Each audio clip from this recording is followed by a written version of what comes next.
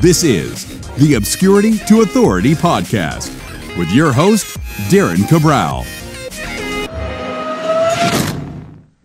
All right, let's do this. Let's Good. have a conversation. Good stuff. Yeah, man. Thank you so much for coming on. I really appreciate it. My pleasure. I know you you actually uh, messaged me a couple of times, and I Yes.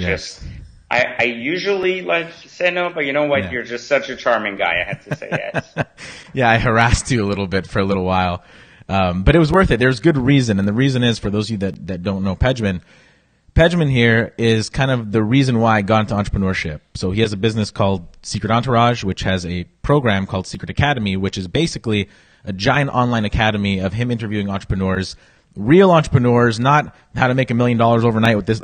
It's real business owners, real entrepreneurs, libraries of endless content. And when I first started out, like a lot of people, I knew I wanted to get into business, but I didn't know what I wanted to do. And it sounds dumb, but a lot of people go through that. Um, and I downloaded your academy and I just started watching and watching and watching because no one in my family was in business. None of my friends were in business. I had no reference or kind of like, where do you even go? How does the world work? And I just consumed that content for six, seven months. And it's, it was like an MBA in business, which was amazing. Right. And so that, That got me. Exactly. You know, when we originally started, we wanted to make education affordable to all. That was kind of my my goal, and I knew uh, that it was just such an important thing to figure out a way to bring real, straight to the point, no fluff, you know, content to people. Not about people feeling good about sharing their stories, but rather real, practical uh, back-to-back advice on different industries and different people who have had success in these industries. And I wanted to bring people like a real world academy, you know, and I thought that some people would get it, some people would not. That's fine. But at the end of the day, those that did want to get it, I felt would have a good place to go that just like you could ultimately find their, uh, their way to be purposeful in life regardless of what they chose to do. Right. And that's honestly, that's exactly why I tried so hard to get you on today because you were a big part in, in getting me to where I am now, which is not very far. But when I first started consuming your content, um, I just left a job in plumbing. I was a plumbing apprentice for three years working Toronto housing projects. Um, like terrible, like the, the environment, everything about it. And I had quit that after an injury. I fell and I was an EI. So when I found you, I was on basically, it's our employment insurance basically. So a check from the government every two weeks because I couldn't work and uh, I was home. So for about eight months to a year. And that's when I found your stuff. And that's when I started consuming. And now you fast forward, that was probably three and a half, four years ago, right? We're running an agency, a marketing company that'll probably do about half a million this year. And we just started it about two years ago. And everything came off that basis of what I learned from you guys in the beginning. Like that was crucial. And, and the cost was not like I would have paid $10,000 for it. Right. No, I know, but that's that's the point, right? Affordable education, and you know what what you said is so uh, so real, and I wish more people would hear that. That when you said, you know, it was a while ago, and I'm still not that far, and I think that that's so important to understand that entrepreneurship isn't an, a two year journey. I think people. I had a guy recently that was showing his stats on Instagram, and it was like, oh, my store, you know, on Shopify did like 200k a month, and he was like kind of bragging about Yeah. that. And I was sitting there watching that, and he was trying to buy a car, and he doesn't have like 30k cash to do it. and I'm like, and so my point is that you know the argument wasn't that you know, oh my God, this guy's poor or not. The argument is that there is no need for that, right? There's Yeah. no need to showcase 200k a month when we all know you're not making 200k a month. You know, you- just because it's like me saying I have a company that does 300 million dollars, and someone would be like, "Oh my god, like that's crazy," and then it's like, "Yeah, but 295 million of that is inventory," and you're like, "Okay, like." You know, like, wh- how does that work? You know, like, why is that even a big deal? Well, it's not, because then technically I have a $5 million company. But Yeah. I think a lot of people just get excited over big numbers. And, and I think that's why it's just such a marketing strategy used by so many. But I tell people you're better off building a real half a million dollar company. You're better off building a real million dollar company than you are building uh, a pretend 10 million, 50 Right. million, 20 million dollar company that leaves you with no money in your pocket because reality is money talks, bullshit walks, right? Yeah. And if you're not putting money in your pocket, I don't care that you're making revenue. If the revenue is not turning into profit, then it isn't a real business. It's Right. just, uh, it's just exciting looking, but it's not really tangible. What's the point of being in business if you don't have $10 to wipe your ass with? You know, I don't understand what, That that doesn't make any sense to me. You know, like Yeah. so a lot of people get excited about revenue. I get excited about, about net profit, and that's something that a lot of people don't talk about. Yeah, I, I think it was Bedros Keuilian. I don't know if you know him, but he said something. It's a very quick quote, which is basically revenue feeds the ego, profit feeds the fam. Right. So that that's really what it's all about, like that top line number. But so many people get caught into that. Um, and I see it all the time. Like for you, you look at a guy doing two million a month, and that's even like okay, but whatever. Like what's left? But I'll see guys even doing like I made two grand this month online on Shopify, and they're posting that on their stories, and it's like it's it's ridiculous. I think that there's something about this hype now of business and just everyone's the expert, and hey, I made two grand a month, or I made even a million. Like in my mind, a million a year, even even in a high net business, is like you just kind of lost your baby teeth. Like you just kind of started. Like that's where you start at. Right. Mm-hmm. And that's got to be with profit. Cause like I know businesses just like you that are doing 1 million, 2 million, 5 million, that the owners are making nothing. They're paying themselves 10 grand a year, 15 grand a year. There's mm-hmm. nothing left. Right. So I, I tell people this all the time. It's like the, the business validation starts at a million in revenue a year. Right. But again, then, you know, that revenue is at least with a 30% margin. So Right. if you're making or have a million dollar business that doesn't give you at least 300,000 Yeah. in, in kind of gross profit to this idea where you can just at least say, Hey, this is real money that came in the business, then you, you're probably either in a bad business or you just really get excited about doing business, but aren't doing good business. So, you, know, I mean, you can, we talk cars and, you know, I know you like cars and stuff, but it's like you can own a Ferrari or you can own or have the ability to own a Ferrari. There's two completely different right. things, right? You know what I mean? Like some people have them, some people can afford them. There's a difference, like between the mindset, you know, and I teach people that, which is interesting because I sometimes get caught in this place where it's not my place to decide who should or shouldn't have one. Right. You know, it's, it's up to people to decide if they should, but sometimes I Yeah. look at people and I'm like, no, really, like you're, you know, just stick to a Honda Civic or something. Nice. No, I, I totally know what you mean. Um, I see it all the time. Like we're we're in Toronto, and there's an area north of here. It's called Woodbridge, and it's synonymous for you know 28 year olds driving new McLarens and, and driving these Lamborghinis. That like I know people driving G. I know a guy who bought a GTR, whose job is shoveling the snow in front of mailboxes in the wintertime. Right mm-hmm. for for a company, by the way, that's not the business. And he mm-hmm. he figured out that the payment would be about twenty eight hundred a month, I think he said, and he makes three thousand a month, so that it worked. So Well, that's the problem. You know, like, I mean, I give those guys a lot of credit for at least trying, right? Hmm. But at the same time, I, I look at people in two two categories: either people who are playing for the long run or people who are playing for the short term, right? Right. If you're playing for the long term, you have a diversified strategy, even if that includes like additional spending or even maybe you bought that GTR right and you'll never lose a dollar. Who knows? You know, like I'm Maybe. not saying that. I'm, I'm a big advocate for good in spending, even if it's overspending, it's still okay. You know, bad spending uh, is Yeah. a disaster, but good spending doesn't hurt, even if you don't have that much money. Yeah. So, you know, I can't say that that's a good, wise choice or not without knowing the outcome, but I can say that uh, there, there's just only really two people: people who see 10 feet in front of them, and people who can take a look at where they want to be in 10 years and understand where every decision they make plays a role in that 10 year time frame.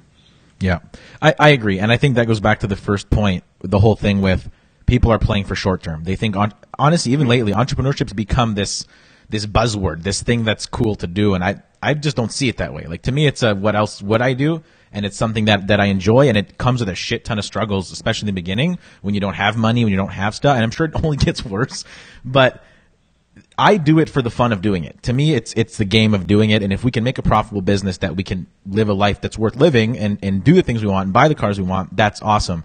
But I look 10 years, 15 years, 20 years, not how do I make seven figures on Shopify next month? I mean, if I could do that, I would, but I can't. Well, you know, I, I think if you want to change that in the world, you got to stop uh, labeling people as entrepreneurs. And I, I talk about that a lot in my book, Third Circle. But the point of that is that I think the earlier we drop this name entrepreneur from people who just own businesses and call them business owners, Right. The the faster we take away the sexiness of truly trying to create social change, create an impact through entrepreneurship and so on and so forth, and really show people that being a business owner isn't sexy. It's there's a reality to it that it can be rewarding, of course. You know, nobody that's been in business 20 years will say, "Oh my God, I can't wait to go back to work for someone else because I made it." But but I can promise you that 90, probably eight percent of the business owner community on entrepreneurs. They're just business owners. And many of them are very successful. Don't get me wrong. They could be millions of dollars in, in profit, you know, right. in the bank and it still wouldn't make them entrepreneurs. And I think so often we get, we confuse the two so much that it becomes so easy to just put everybody in this one bucket and then say, well, oh yeah, everybody's the next Bezos, everybody's the next, mm. you know, like, uh, Musk and this and that, or they want to be anyways and they're working towards it. But then you ask, well, what do you do? Uh, I own a cleaning company or I own a restaurant and it's like, yo, bro, there's no correlation between entrepreneurship and owning a restaurant. And I think people just don't understand that. So that's why it, it's just exciting because it's been a so that's what when you tell someone you're an entrepreneur, the first thing they go in their mind is like, oh my god, like I've seen an entrepreneur on TV was Bezos, and I'm like, what the fuck, like. How many of us like sitting around like 200 billion dollars being like, yo, like this is what we do. That, like it's like that doesn't even make sense anymore. Yeah. You know, like shit is like so gone that it's like it, it just doesn't I like, and you know, I give up. Like, meaning, like, just I have nothing to say on that. No, I, I, that's a great point. But so, in your mind, what separates, what makes an entrepreneur an entrepreneur, if if revenue and numbers aside? Well, I don't think it has anything to do with. Uh, I don't think it has anything to do with numbers at all. I think it has to do with the ability to create social impacts and social change, and I think the vehicle to do that is business still, you know, a lot of people misunderstand and even confuse entrepreneurship with charity based businesses. They're like, oh, if this business has a charity component like Zappos, for example, then it's automatically entrepreneurship because they're changing the way uh, people get shoes in these bad countries. You know, right. I'm not saying there isn't an entrepreneurial component to Zappos, but at the end of the day, uh, the core concept of it is a shoe store, right? And when we look at entrepreneurship in the sense of like what Tesla has attempted to do, I think I, am actually an anti-Tesla fan when it comes to their cars. I think their cars are complete horseshit vacuum yeah. cleaners. But uh, that's my that's my opinion. Yeah. You know, I'm sure many people will disagree and love yeah. their cars, and there's nothing wrong with that. But I think what they've done that's surprisingly amazing is they've completely rewired uh, how dealerships do business. Yeah. And they've completely deleted what a dealer network is, which is freaking unbelievable. And that part most people won't even understand or know. Yeah. Uh, the other part that they've really engineered above and beyond is they've allowed the market to adopt an electric car uh, as a whole versus just as a part of a company or a component of a company. Like it's like saying like our entire brand is electric and you're just going to love it versus, okay, one of our 15 cars is electric and right. this is what it is. And they've done a job good enough where they sell out of future cars and they get like an audience to back kind of their thought. And they've also fast forwarded the electrical kind of revolution around the ability for other manufacturers to adopt electric faster you know, with charging stations places and making it streamlined across the US. So they've brought ultimately the, the cool factor into the electric that was always missing, right? So like, and they innovated that industry pushing social change forward. So if you're Musk and you say, well, I want climate change, you go to people and you say, hey, uh, give me a million dollars for climate change. They're like, oh yeah, I'm not buying into that.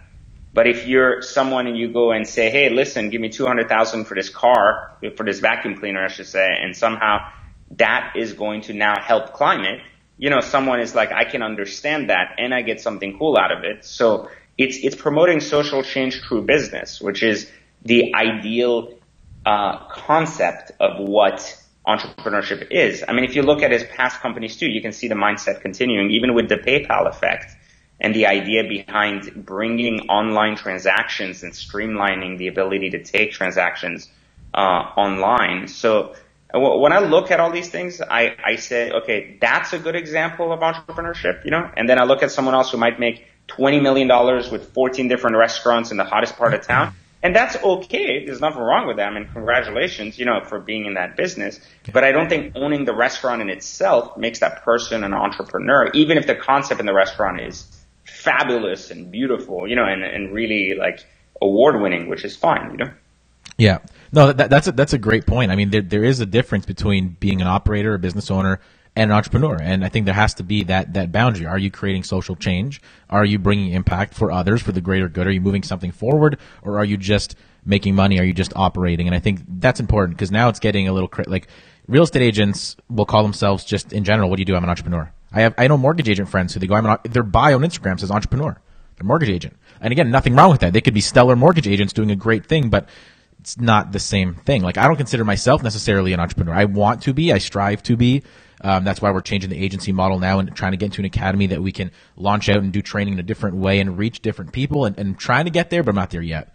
Um, but that that's the goal, and that's why I'm trying to talk. To and but that's okay, right? Because there's yeah. such a fine line between the two. Like entrepreneurship uses business as a medium to connect people, right? right. Like and to connect a, a cause to something that people understand through a monetary value. In the same way that you know a business can soon operate for a long time and then or in just five months suddenly choose to become entrepreneurial because they identify a new way to do something within an industry and say, okay, we started as a mortgage office, but right. now I can really see this void in not in just the marketplace, but void in the way we do mortgages. And I'm going to implement these other strategies yeah. to not just bring on more clients, but ease how people go into homes, you know, and as a result, helping the, the chain management of how that, that entire industry works. And that could have just started as a real estate office or just as a realtor in an office that then got his, you know, mortgage broker license. So all I'm saying is it's not, it, it doesn't have to be a one to one. You wake up, you choose to be an entrepreneur, you're it, you know, and then you don't only work on life changing things and you're the Mother Teresa of money, you know? Exactly. It, it, it can be a progressive journey. And that's why I like the beginning of this when you said, Hey, look, it's been three years well, you know, we're on our way to a half a million dollar company. And I think that's a,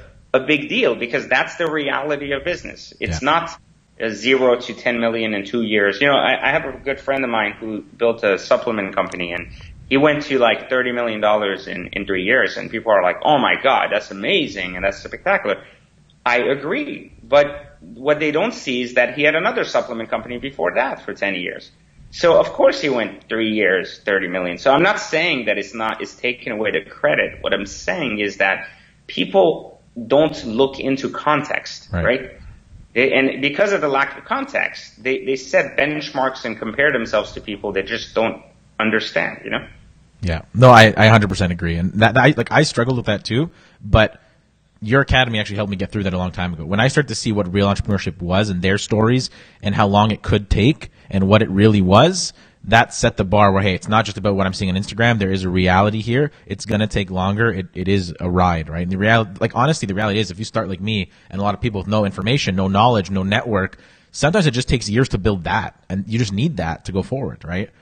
You don't have it. So I anyway, that in my books. You know, the negative yep. hundred to zero line. You know, like getting to the yes. starting line in itself is part of the journey. And people are like, "Oh, I want to be an entrepreneur, so I'm going to start. I need a loan." And it's like, "Well, go get a job." They're like, "Why would I get a job? It's counterproductive." And I'm like, "You have no money. Get a job. Mm-hmm. Like, go get something and get to the starting line." Yeah, exactly. And I want to talk about that because you do have a book. You have a great book. Um, so not only was your academy the first business program I ever bought, one of many since then, your book was the first business book I ever read on Audible, which was the download. That's how I actually started on Audible, like 200 books later. Uh, that was the first book. So let's talk about that. What is Third Circle Theory? That was uh, a system I put together when I looked back at my life one day and I said, what is it that allows me to just always push forward, never see any type of restrictions in my life or things that prevent me from being able to get to a goal how can I set destinations so fast yet people struggle to even set one? You know, uh, all of these things that have made me me, I kind of started trying to relate to my past background. And since I had interviewed so many people, I had so many friends that were successful in their space, it helped me kind of connect the psychological dot of like what happens in the mind at different phases. And so uh, the third circle theory was really my contribution to society, trying to help people understand the evolution of the mind as it pertains going from a state of loss, meaning everybody like starts lost uh, in a sense because they are the byproduct of their family circumstance. You know, we're all born in different circumstances with different money, baselines, countries, and everything. So we don't really have a choice as to how we're born or where we're born. But so the, every single human struggles with the idea of mastering circumstance, which is the first circle. And then every human then has to enter society, which is the mastery of society, which is the second circle. And then ultimately every human at some point or another may choose to pursue uh, or ask themselves this life question, like, why am I here? What is my purpose? What are some of these uh, reasons why I exist? And I think too many people aren't asking these questions, and those that are are looking for a lot of times religion to to justify things like that Yeah. and try to justify like being a good human being, rather than unlocking potential and understanding that every human can be purposeful, uh, and as a result of that purpose uh, driven mentality can eventually commit that purpose to a greater cause. And I think people just wait around thinking, oh, well, someone's going to give me my purpose, or I'm going to have a moment where I fall and I'm going to open my eyes and there's going to be this thing in front of me and I'm going to know I want to devote the next 40 years of my life to helping like giraffes in Africa. And I'm like, holy shit, you're waiting around hoping that you fall down one day and open your eyes to reality, you know? And Yeah. instead I thought to myself and I was like, well, if we teach people how to live uh, a life of purpose where they can find purpose at any given time and moment in what they do, then perhaps we can teach people, uh, in essence, to be ready to commit to a greater purpose than themselves.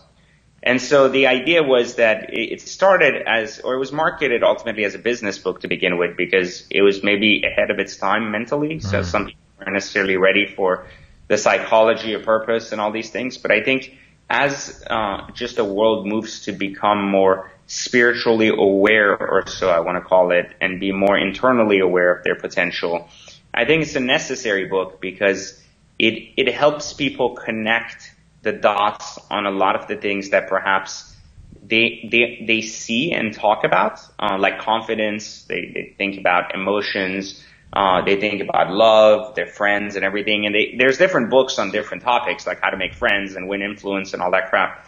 But but this book is more about understanding the the psychology of why a, a human being does what they do and where they stand on the map. So ultimately, like a modern uh, version of a hierarchy of needs kind of uh, setup, but in a way that's very understandable by all. And it's it's ahead of its time, but it's also a progressive book, which means it will stand for something different for each person that reads it, even if they read it 10, 15 times. So when you're reading the book will be something.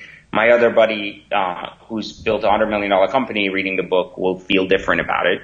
And my other buddy who's 90, who's maybe helped, you know, like cure diseases will still, you know, think of it very differently as well. And that's the idea of the book is that it can hmm. relate to everybody, but it holds a different meaning to each based on where you are in life.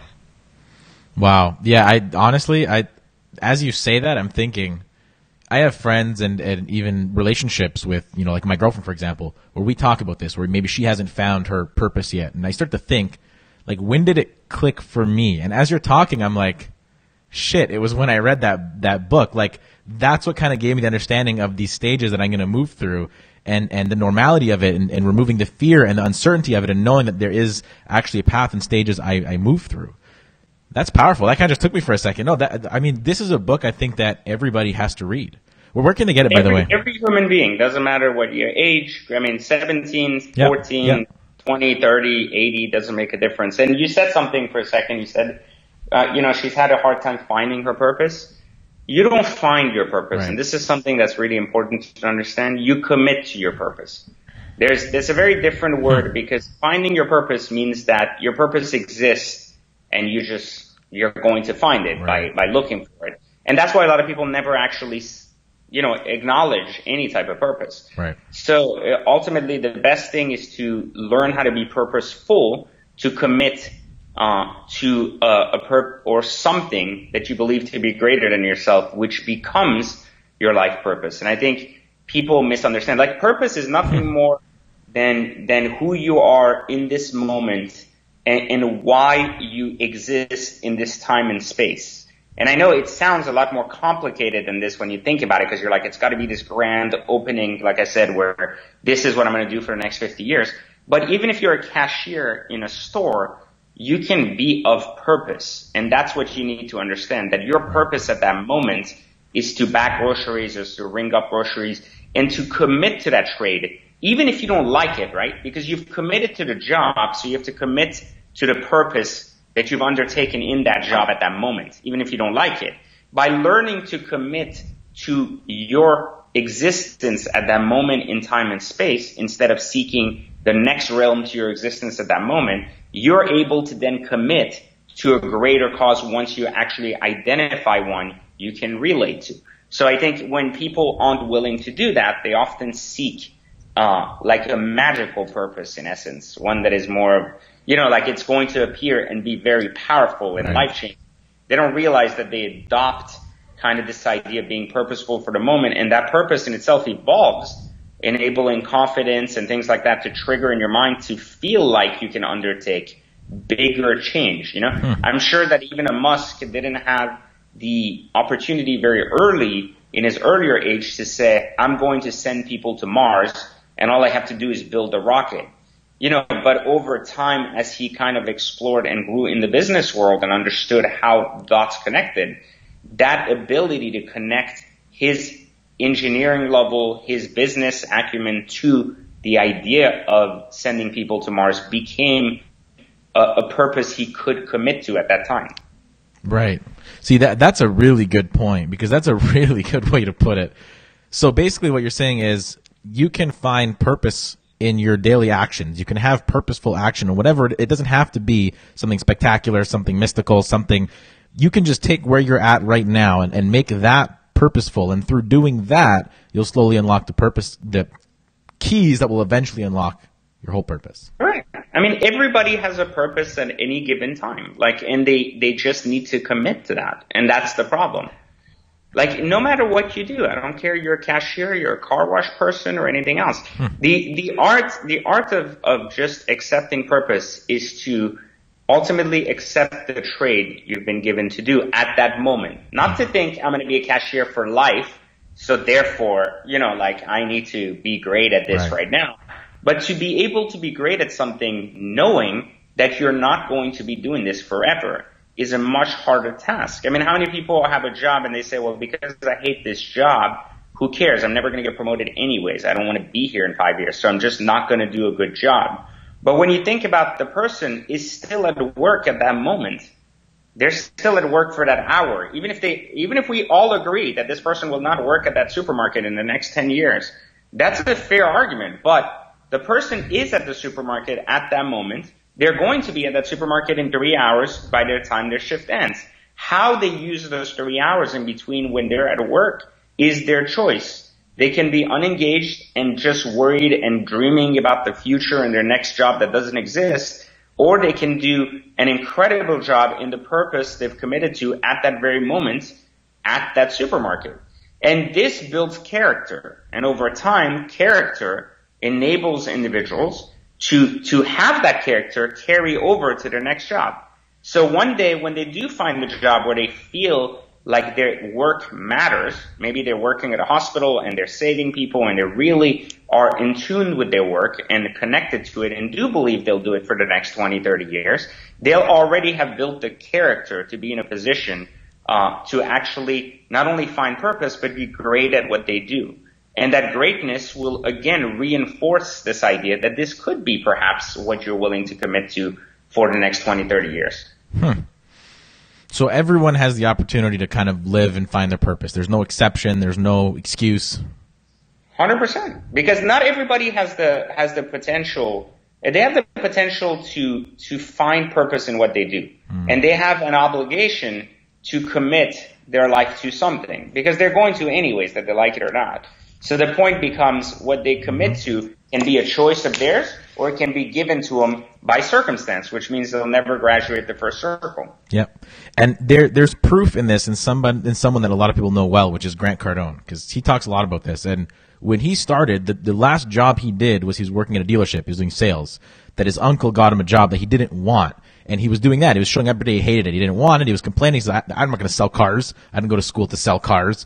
And eventually he realized that that was getting him nowhere. And he just said, Hey, I'm not going to move on to anything else until I come in and be the best car salesperson I can be for myself to prove that I can, I can fulfill this role to the best of my ability and he showed up different. He showed up with that attitude. He he made it his purpose just to be the best possible salesperson in his whatever state or even in just that dealership.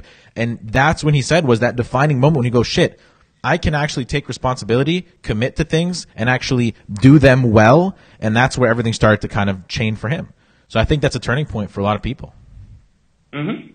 Crazy man. So let's let, let's bring it back to your. I kind of skipped way ahead of this because I got too excited talking to you, but a lot of people are listening to this going, Hey, that's great. You're super successful. You're wearing what's on your wrist there? Panerai. What's that? Oh, this is one of my favorite watches. It's a Panerai. Uh, it's a rose gold blue dial 277. Oh my I god! actually looked for this watch for like two years. I couldn't find one. and So- what's that? Like forty grand? No, they're like 36 grand and using Watch Conspiracy you can buy one if you can find one for like 20ish, you know, which is cool watch. Wow. So okay, we got to talk about those businesses. But Before I do that, so I don't forget again, a lot of people are listening to this going, "Hey, you're super successful. You're wearing these watches. You got these cars. You got these businesses. You're helping tens and tens of thousands of people, or hundreds of thousands, whatever it is now." Um, and they say that's great. You can talk about purpose and about happiness, but what they don't know is where you started. So I want to talk about how did this all start? You didn't just fall into a wealthy family of entrepreneurship, did you? No, I actually, uh, I was, I I grew up very poor. Uh, when I said poor, meaning we, we had shelter and food. That was it, you know? Wow. And shelter was limited to other people's shelter a lot of times. Wow. And there's nothing wrong with that. I had a single mom that uh, I still do, you know, that I love very much that did whatever she had to to get me out of Iran. It was just a bad era for that, uh, just to, to have a life there. And so she sacrificed a lot of her personal, uh, businesses, well-being and everything just to get me out to eventually end up in France and then from France to, uh, finally after 11 years to the United States, first in LA, then Virginia, and then finally in Florida. And it wasn't until we really got to Virginia that I had a chance to really start establishing myself because I was just a child, you know, traveling around with wherever my mom went, I had to go, you know, it wasn't really a, a choice. And so, you know, just moved country to country until we kind of made it to Virginia, at which point, uh, no green card, you know, no ability to, uh, work or do anything. Learned, uh, how to wash cars very early. Kind of made that a, a, a little bit of a side hustle early on when I didn't even have a job, you know, so then I started, this was at 14. I started working, uh, eventually by kind of scamming a remodeling company into hiring me without a green card, them not knowing what they were doing. Yeah. And then, uh, you know, and it's funny because to this day, sometimes I wonder, I'm like, is one of them watching this? Like, what the fuck? I hired a kid. And like, yeah, I didn't know this, you know? So, but, you know, like that worked. And I did really well in telemarketing at a young age. And then I became a very young bank manager. Uh, I was about 18, almost going to 19. And then worked my way in banking till I was about 25. Uh, and then when I got fired from banking, I kind of uh, focused on this side business that I kind of built, which was car wash business, and ultimately evolved that from a car wash to a tuning shop to a brokerage firm to an investment firm on alternative assets, and that gave me a lot of capital, a lot of growth. That, along with some really good uh, real estate dealings pre-recession, pre-Great Recession, enabled me to have enough capital to feel comfortable, uh, kind of abandoning a very successful business and focusing on building an online uh, kind of uh, an online education based platform called Secret Entourage at the time. Uh, and while I had my other businesses kind of running in the background, and, and that enabled me to then start another like a bunch of platforms like Exotic Car Hacks, Watch Conspiracy, and now kind of live in both the investment space, which I still own VIP Motoring, and then also own all of these online platforms. Uh, that they're not passive in nature, but they're very uh, they're very good for me because I love uh, teaching, and this has enabled me to teach to way more people than I could have not having these online platforms. So it's ultimately enabled me to commit to my purpose myself, which has always been teaching, uh, and now has been a- enabled me to just get really good at it because I can do so much of it on a day in and day out basis. Wow, that so so you lived literally the path. Like you went through the whole concept of thirds. Like you didn't start your first job. You weren't passionate about it. Like you found No, passion in it. Dude, I hated it. I mean, no joke, man. My first, my first job was telemarketing, and Yeah. who likes being a telemarketer? My first client's name was Mr. Black Dick. No joke. I called him like, "Is Mr. Black Dick home?" And I get hanged up on it, and I'm like, "Mr. Dick Black, maybe." I said that. Is there a Black Dick home? You know, so I was like, okay. So it's like messed up, but it's true. You know, That's- I'm like, okay, so these. And the guys in the office were playing a joke on me, and I'm like, this 14 year old that doesn't even speak like good English, you know, and I'm like, what the fuck? I'm like, Mr. Black Dick people look at me and they're like, wow, what an idiot, you know? And what's fun is I hated my job, but I didn't have a choice and I didn't nag about it. Meaning I didn't like it, but what it was was it was a job and I couldn't find another one because if I lost that one, it would be hard to get one without a green card. So What I did is I suck it up. And the best part about it was that everybody in the office was like, who cares? It's a telemarketing job. Yeah. You're not going to do that shit forever. And I was like, you're right. But since I'm here four hours a day, every day after school, I might as well get really good at it because those guys next door are selling roofing and siding and they're making commissions of like 10 grand, you know, a job. And I'm selling, uh, their leads. And I could, if they were selling my leads, I could be making two to 3,000 instead of mm. just sitting here pretending to make calls. So yeah. either I'm going to go home with $10 an hour or I'm going to go home with $2,000 commissions. So I said, let me actually go and ask the sales guys, how do you sell? What do you do? Who do you call? Who are your clients? So I started learning from the sales guys when everybody else was fucking around in the office. And I did it because I figured if I'm going to spend four hours there, why not optimize that time and try to make the most of it? And that's how I took my regular job from like $200 checks to $2,500 checks a week, you hmm. know? And when you're 15 years old and you're doing that kind of dollar, you don't know what to do with it. First off, you've never even seen it. Your mom wasn't even doing it. So you're like sitting there like, okay, I have all this money. So the first thing you do is you buy a shit ton of video games and you still have money left over and then you don't hmm. know what to do with it. so, so you start figuring out new ways to put it away. And then I started realizing that maybe I needed to help my mom more and really be the central focus of growing, you know, our family because it was just me and my mom. Wow. Wow. See that, that that's that's that's amazing. That's the attitude more people need to take, both with their work and and like also you did find a passion and purpose out of it, which you just said, which was supporting your mom and building your family. Like that's a deep purpose and meaning for you, right? And well, it was, it, you know, it was for that moment, it was meaning, right? Yeah. It was purpose and it was meaning. But 90% of life and success isn't knowledge, isn't who you know, what you know. It's perspective. Right. You know, like I, will give you a really good example of perspective, which I shared with a bunch of people recently, and it really hit home for them. Someone, I always post things on Instagram about you don't need a degree to be successful. You know, my Lambo says no degree on it. Yeah. And I've always done posts about like, oh, you know, you don't need an education to be successful and blah, blah, blah. And I get a lot of feedback on that. People are like, well, it's bullshit. You need a degree if you want to be a doctor or a lawyer, ha ha, you know, and I'm like, are you a doctor or a lawyer? No, but somehow you want to argue now for the, the Doctor Association of the World. It's okay. That wasn't the point, but I was I made a point to one of my friends years ago that you don't have to actually be a doctor to to practice medicine. And he completely was like, "Well, you're full of shit. You need a PhD and then you need a doctorate to practice medicine." And I said, "No, and I'm going to prove it to you." And when I was in real estate, what I did is I bought a commercial building and I hired five doctors straight out of school who were too retarded to know how to run a business. I built a lab in the building and put the five doctors in there. Next thing you know, boom yeah, boom. Now I had five doctors that worked for me. I had a free lab, I had free health care, and I had everything I wanted. Plus, I was getting a cut out of all five doctors. I was getting a cut of all their labs, and I was making money on the building. So then I was like, why would you want to be a doctor? You know, when you can do what I do, then why would I want to go and go 20 years in school only to do what one of these guys can do when I can do what all five can do and make them do it for me for free. Yeah while they pay me to do it. Like this doesn't make this is no brainer. And so people were like, this doesn't make any sense. And I was like, no, what doesn't make sense is that people look at life through a perspective of one to one. I want something. There's only one path to get yeah. it. It's a straightforward. Like I either like people are like, I want to start a business, so I need money. Well, I need ten thousand dollars. I need this. I need that. So I'm going to go there and I need a loan, and this is what I need. Or or they're like, you know what? It can't happen. Nope, sorry, it's not there. So I'm not meant for business. And then I'm like, well, why don't you get a job? Well, because that's going to take two years to save up. And I'm like, okay, well, it's better to start in two years than to never start at all, right? It's better to work towards the goal and know that two years later you look back and you're like, that was interesting. I still have 10 grand now. I'm ready to go. Rather than say, well, I'm going to look at it. I don't have 10 grand. I don't know where to start. Okay, I'm done. Have a good day. Like I'm just going to go and hold my dick in a corner of the room and do nothing.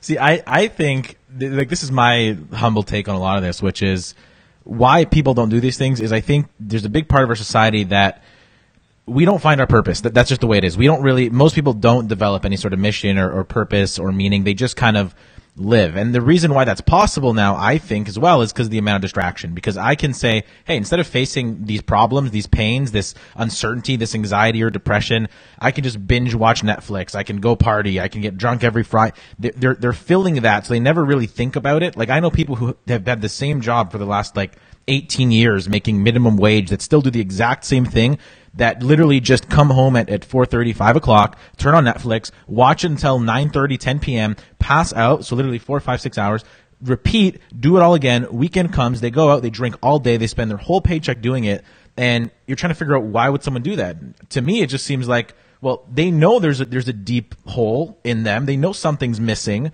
but instead of thinking that way and saying, you know, how can I start pushing towards something? What's the thing I really want? How can I work hard and take time and invest, you know, my, my hours and my money and whatever and get, like, that's too complicated. When Netflix can just be turned well, it's on. Not complicated. It, it's not complicated. It just requires the ability to see five years ahead. And it's not that you, look, it's the same idea why people don't start businesses. Like the idea of starting a business isn't sexy, right? It's like, are you willing to work like a slave for 10 years in hopes that maybe you'll be part of the 0.2% that succeeds in business mm-hmm. and actually is able to make an income of this? Or do you want to go collect $500 a week working at the supermarket and you're guaranteed to feed your family, you're, you know, have this money to maybe go out and spend the weekends. And so right. first it becomes this, well, the other angle is too risky for me, right? And I don't have enough confidence in myself to make it true. So I'm just not going to start at all. Then the other angle starts becoming that you then justify you can't afford to do it because you have a family, you have, mm. you know, obligations. So you create a hole that makes it comfortable for you to justify as an excuse why you don't need to get out of. And it's, listen, it's okay. People, uh, I always say people need to realize that, uh, not everyone has the courage. It takes courage to be an entrepreneur. It takes courage to be a business owner. Not everybody has the courage. Not everybody has the self-discipline. Not everybody has the self-love and self-opportunity to, to believe in themselves enough to be willing to try something. And then also don't forget that misery loves company and often the people we circle ourselves with when we're in these miserable spaces, well, they're obviously not astronauts and Olympians and top of the line business owners. Yeah. They're just morons that are going to the bar with us that are justifying their failure yeah. Because some guy cut them off and that's the story of their day. They're like, oh, I'm going to talk about this guy that cut me off on the interstate for four hours while we drink a beer. And somehow there is a lot of value in that in my life. And the other guy is like, yeah, let me share my story of how this other lady cut me off. And then next thing you know, you spend five hours of worthless living and like you literally could go die and nobody would remember or care. And, and that, I know it's very brutal, right? I mean, yeah, I'm very, it's, it's 100% true. But, but it's, it's true, right? Like yeah. a lot of these guys don't realize that they could get hit by a car and nobody would care. Yeah. Like, like, like their families would be more concerned about the fact that they don't have $500 coming in that the dude's dead. Like, I mean, that's pretty fucked up, you know, like, yeah. and when, when you don't let that sink in, it's because you're afraid that if you do let it sink in, then you have to know that you have to change, right? Right. Right. Nobody likes that, you know, so if you let it sink in that you could be a diabetic because you're that close, then you have to change, right? Yeah. But if you ignore it, then you're like, well, I'll only deal with it when it happens. Yeah then it's usually too late. You let the destruction happen first, and then you're like, oh, well, you know, like that wasn't my fault. There's bad content in this food. It's like, no one told your ass to eat seven pieces of cake today. You know, like, you chose to eat seven pieces of cake. Like, fine, the cake's fucked up, but not seven pieces of it. You know, one piece was fucked enough. You didn't need to eat seven. And that's the thing. Yeah. You know? No, it, and and that and that's so true. And I think we're coming to that point though in, in society in general where we have that entitlement. I, I wasn't there a, a, lady suing McDonald's for making her obese? I'm pretty sure that was a thing. like we're getting if someone could sue a penguin in the Arctic for being a penguin, they would fucking figure out a way to sue him for global warming. See, th- this actually, who, I think it was on Joe Rogan's podcast. He was just he was talking to I can't remember some big tech executive, some billionaire, uh, some huge company. He was, he was saying the HR at the level of those companies is so crazy because the shit people come up with. He said he had an employee that was suing the company because that employee identified as a furry and thought he was a cat and they wouldn't put a litter box in the bathroom of this multi-billion dollar company and he's suing the company and he's probably going to win. That's the sad Bro, part. I, if I had a, if I had an employee like that, first off, I'd take him out back and congratulate them on being a furry. I would videotape the shit out of them and then I'd just be like, all right. So yeah, complain one time and that shit goes viral. Here's your litter box. hey, they, they, they, probably like it, but see, that, that's the thing. I mean, we're, we're getting to a weird place, but I don't want to even get there because it's a whole rabbit hole. But you, are right on all this stuff. I mean, I, I see it. It's, it's also why I don't hang out with a lot of my high school friends because I'm tired of going out with people that when you talk to them, it's here's what my boss did, here's what's shitty about my job, here's what stra- like, and then they ask you what you do, and then you feel like shit telling them because they're just like, oh yeah, good for you, like back to my problems, right? Like they don't, they don't want to hear it. But but you know, I mean, look, argue with these people. The people that argue that they don't love their job. Okay, then change it. Like if you, you know, so many people, yeah. they, like they're always looking at me and they're like, "Oh my god, I hate working," and I'm like, "Okay, well, do you have a new job? How many how many applications you filled out this week for a new location?" They're like, "Oh, none." How many times in the last six months you apply for a new job or converse with your boss about ways to improve things in the workplace? None. Okay, well, if you don't want to do anything, well, why complain about it? Like if you're if you're not going to do anything anyways, then the outcome's not going to change anyways. So why even bitch about this even happening? So leave it alone. Like let it happen. You know what I mean? Like let it just yep. stop. Like do your job and go home and find your happiness by hanging out with your kids, not with your job. If you're not going to do anything, then stop being miserable at the same job. There you go. That's it. Life advice right there. So hey, let, us bring that forward a little bit because I mean that that's kind of where we came through. You had all this this success. I mean, you, well, you started with no success, built all this success, made some money, and now you have some really cool businesses, products that I kind of want to touch on because I like them all. Um, one of them we mentioned is Secret Entourage, which you guys do a, a ton of stuff. You have academies, you have events, you have all kind of masterminds, I think too, right? Mm-hmm. So you have all that stuff, but then you have these two other very interesting it seems pretty simple from the outside, but very interesting, which is you have watch conspiracy, which is basically how people are getting these crazy watches like the one you're wearing right now um, that are $36,000 for $20,000. And then you have one for exotic car hacks, which to my understanding is how to get a car and either make the money, like buy some sort of Ferrari or Lamborghini and make money on it, not lose a couple years down the road, or at least break even or lose very little. We're only losing maybe a couple 100 mm-hmm. bucks and you're driving for free. Is that correct? Yeah, I mean, I spent the, a large portion of my life building my company, VIP Motoring, which was uh, literally an investment company focused on alternative assets like cars, art, and watches, and of course, any precious metals and so on and so forth. And so I spent uh, about eight years of my life really in that business, uh, like helping people. And I had another 10 years before that an experience in banking, which have leveraged when it comes to finance, lending, investing, and everything else. So I combined alternative assets like uh, luxury goods with my banking background and created that firm.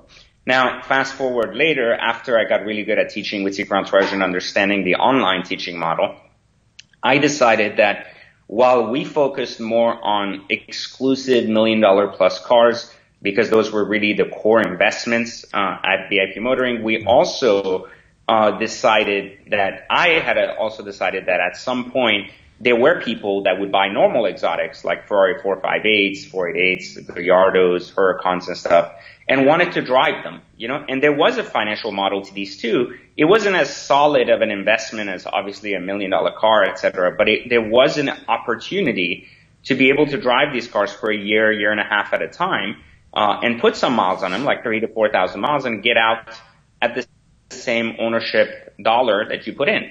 So it ultimately gave birth to this strategy that I started teaching online called the wealth transfer strategy, which was how do you stop spending money and instead transfer money into assets temporarily?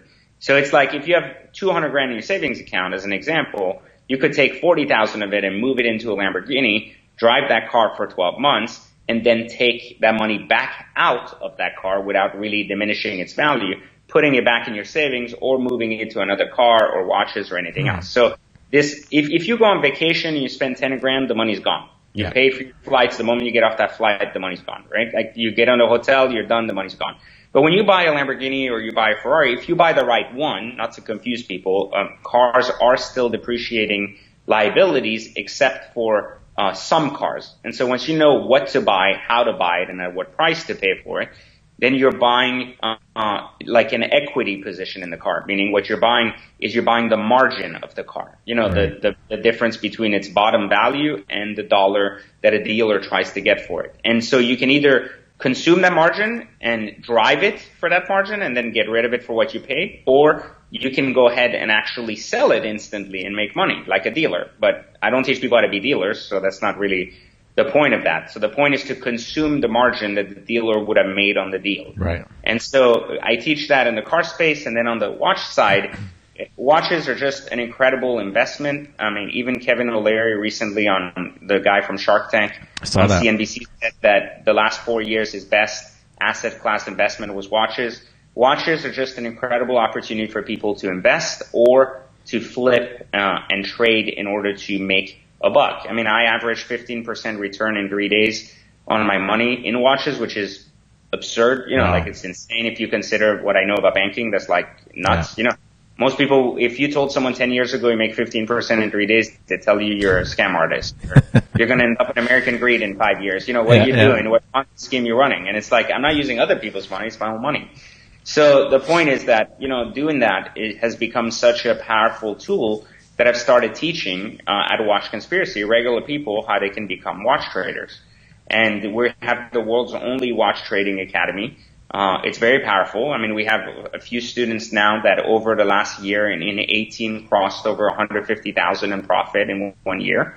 And this is just from home, you know, doing this part time. So I find that to be such a opportunity if they can do it. One of them is like 18 years old. So, wow. you know, if he can do it, then anybody can do it. You know, he, he's also not loaded, didn't come with a hundred grand to the table. All of them start with a thousand dollars, you know, and that wow. should tell you anybody can play. No way. Okay, so I gotta definitely get in on those two courses. I don't know why I haven't already, but I want to get in on both of those for sure because this is two I mentioned before, two passion areas of mine. At least from the passion for them is the cars. I've always like I grew up. My dad was an automotive. Um, he was a GM in a dealership, and he did what you just mentioned with the cars, but because he could buy things at like what like they'd get a trade in of something, and he'd mm-hmm. buy it at a trade in value. There's no markup, and he'd drive that for two three years. And I remember he'd sell it, and he'd make his five six seven grand on it, and he'd get another one. But I never realized how could you do that without being in the dealership. But obviously, you have strategies. Yeah, I mean, I teach people how to do everything they can do without having a dealer's license, without needing to go to auctions. People usually think that I'm teaching people how to buy at auctions, etc. Mm. And I usually teach against that. So most people, I teach them how to use any dealer across the U.S. to leverage these strategies to get wow. uh, what you need out of it. Is is this feasible in Canada? Do you think? We have a lot of members in Canada. Actually, they use it a lot in Canada. Uh, it's not exactly a one-to-one science, meaning it's not exactly the same.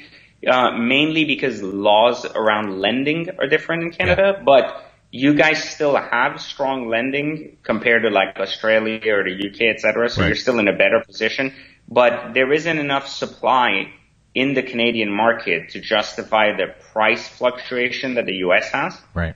Uh, and the margins the US has. However, there are hundred different ways you can apply the strategies I teach to learn the market in Canada and then run this in Canada the exact hmm. same way if that makes sense. Oh, yeah, 100% but you have does. to give it some thought. You can't yes. just be like, you know, PJ said buy this car, and I'm just going to go buy this car. You know? Yes, yes, no, hundred percent. Like, like the, the fundamental principles can be applied and tweaked. Hundred percent. Yeah, and it right. can work very successfully. But like, if you go to my car list, maybe some of those cars aren't as you know wanted in Canada or don't have as much supply of in Canada. So when you're looking at my car list, and then you look at the the dollar you know, and you're like, wait, that doesn't make any sense. You know, like cars in Canada are like 50 grand more. I don't understand where he's getting these numbers from. So that part may be different, but it, you know, the context is the same because if you, if I tell you you spend 150 and you get 150 back out, then you didn't spend any money. Right. So if you buy the same item in Canada for 180 and the Canadian market allows it to stay at 180,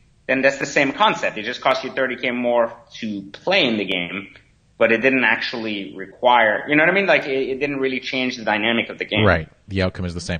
That's interesting. So uh, I'm going to kind of use this last little bit here to kind of let's assume I'm getting into this because I, I, I want to. So I want your take on if I'm getting to exotic car, which which is the plan. Because right now I did something you're going to hate me for, and I'm debating telling you. But basically, you leased a Tesla. Close. Um, no, you I did the worst of the worlds. You leased I, a vacuum cleaner, and now you regret it. I bought a Dyson and I drive it to work. No, um, I no, I leased uh, on my. I could have bought, didn't matter, but on my accountant's recommendation, I leased a Mercedes. And then you're going to tell me it's a fake AMG, but it's a C43 AMG because that's obviously I want to spend as little as possible, but look clean, showing up to meetings and doing what we do. Um, and that's obviously, a, in a way, a dumb financial decision. It's not going to make me any money. It's going to lose a percentage a bit every year minus the write-offs. Um, but whatever, it's a clean car. I want to get out of that soon, probably the next year or, or 2 Mm-hmm. and I want to get into something else. Now, should I be looking towards like uh, one of my dream cars was one of the ones that you have? Actually, tell me the cars you have now, so everyone can hear. I have my Performante Spider. Uh, I have a 600 LT coming in three weeks. Nice. Uh, I have a GT3 RS, uh, an SLS AMG. Uh, just got rid of my Aventador S, uh, the F12 Ferrari, Oh my god! the uh, the G wagon, and the M5. Wow. So for non-car people, that's just millions of dollars in cars, basically. Wow. Okay. So It doesn't have to cost millions of dollars. no, no. No. You know, But it is. It is. It, it is worth that, right? So, which, which is great. So you have that. So I want to get into this. Should I be looking towards like I love that the Performante. That's one of my dream cars. Should I be trying to like? Can you exotic car hacks that, or is there certain models Lamborghinis I should be looking for? Do I go older? Like No, where do I start? I, I this is my this is my second Performante. My first one I drove for seven and a half months, uh, and it was a coupe. It was a 18 coupe, and I bought it for three seventeen, and I sold it for three fourteen. Wow. So I drove a, a three hundred fifty thousand dollar like Lamborghini for three thousand dollars for seven months, and I put more miles on it than your lease allows for thirty six months. Yeah. Yeah. Oh I drove the shit out of it everywhere. I didn't care. Like, That's crazy. See, so it- so a guy like me, I'm starting out. I want to buy my first exotic. What's what's your number one tip? Do I go with the very basic stuff? Do we find that older Audi R8, or do I go right to the passion project? It- buying buying my into my system comes in two basic, very easy steps. It's the cars and the ability to buy the cars. Mm. That's where people get confused. So everybody thinks you have to buy these cars cash. Mm. So maybe you can, and that's more power to you. You know, if you if you're me and you have enough money to buy these cash sometimes and you want to finance some, that's fantastic. That's the best way to go about it. But if you don't have 200 grand sitting in an account or 300 grand sitting in an account, then you typically will use my strategies to get loans. And I teach people how to leverage that to banks to get banks to lend you on exotics because banks actually like exotics more than they like, uh, like normal cars. So what happens is there are strategies to getting exotic car loans and you can stretch them a little bit longer so your payments aren't that ridiculously high like a normal conventional loan. In addition to that, you can also leverage my strategies to get interest rates you've never heard of that are extremely low and you can also leverage that to go to very small down payment models where you're not giving away your cash. It depends on how your personal situation is. So I usually tell people the better hacker you become is the better you become at leveraging your personal ability to buy, even if it's growing your credit, growing your exotic car credit, that there's a, such a thing as that. So what I'm saying is like you actually either get in a really good position to buy and then it's also about what you buy. So once the two come together, that's when you start getting perfect hacks where you have the ability to buy, you're getting the right cars at the right dollar, and then the two go in hand to hand. But if you've never bought a car and you suddenly say, I want a 150k car and I want to put a, you know, I don't care what it costs, well then the issues become that the loan cost could be significantly higher Right. than what can, you know, make up on the car because you're getting a 10% you don't know what you're doing, et cetera. So conventional ways to look at this makes it very expensive. Uh, real, you know, perspective on how to make this work for you makes it, you know, doable once you understand that you are the buyer and you are half the equation as much as the car itself, you know? Got it. So I got to take the course and I'll figure it out. Where can I find it? Uh, exoticcarhacks.com for the cars, watchconspiracy.com for um, the watches, secretentourage.com for the business, which you're already part of. Yep. Beautiful. And for the watches, that's one more thing I want to ask you. This this one's totally for me. I haven't bought any proper watches ever. I've only bought the the, the fashion crap, right? Starting out, what's one of the best brands? That, let's say I have to have a ten thousand dollar budget. What's one of the best brands I can start getting into to start flipping? Uh, it depends what your goal is. If your goal is to have a nice watch on, you can buy some really nice Panerais and very basic APs for 10, 11 grand. Uh, if your goal is to kind of show off, you know, like, like meaning have like a status watch, th- th- there's just a lot of, uh, quality, like 20, 22,000 dollar Panerais you can buy for like eight, nine grand. And there's a lot of nice Really? Rolexes you can have for like 10 grand, you know? It, it, it all depends. I mean, it, it's really more about the deal than the watch. So I can't say that, mm.